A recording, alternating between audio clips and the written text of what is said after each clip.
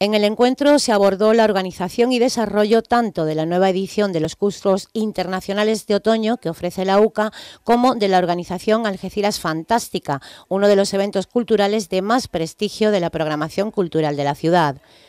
Uno de los aspectos fundamentales tratados por esta comisión paritaria respecto a la decimosegunda edición de los cursos internacionales de otoño fueron los seminarios que finalmente formarán parte de esta edición y que serán eficiencia energética en puertos de mar, perspectiva enfermera en género y salud, gobernanza portuaria, buen gobierno y buena administración en puertos españoles y el seminario que presenta específicamente el Ayuntamiento de Algeciras, José Luis Cano y su época. En cuanto a la subsede de Tetuán, se impartirán los seminarios La movilidad dentro del K107 y su impacto en el modelo educativo marroquí y la revolución digital.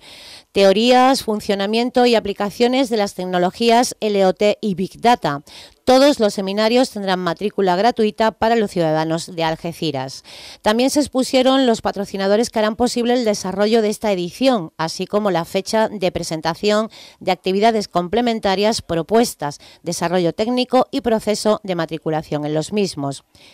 En lo que respecta al certamen internacional de artes fantásticas y ciencia ficción Algeciras Fantástica 2017, se concretó el número de participantes, que este año duplica el de la pasada edición.